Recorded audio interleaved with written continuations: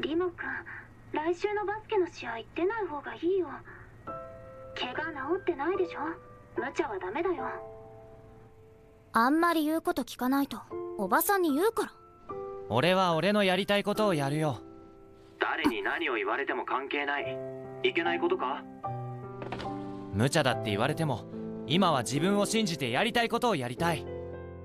シャオユひまわり好きって言ってたろ？そんな風に太陽に向かって顔を上げていたいんだ。だから諦めたくない。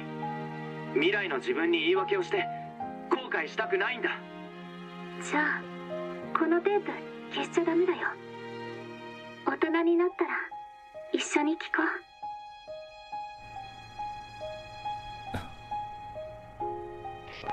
私考えたの。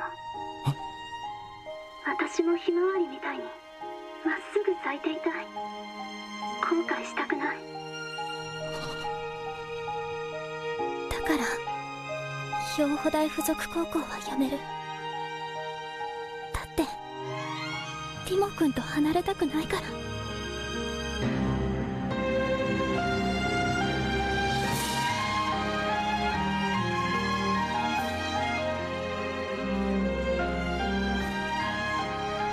二度と巻き戻せない。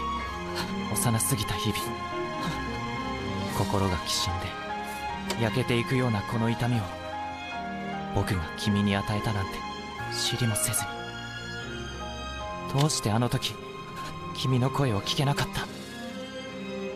だけどまたいつか出会うことができるならあの日見た夢の続きを今でもまだ願っている。すがるように。祈るように。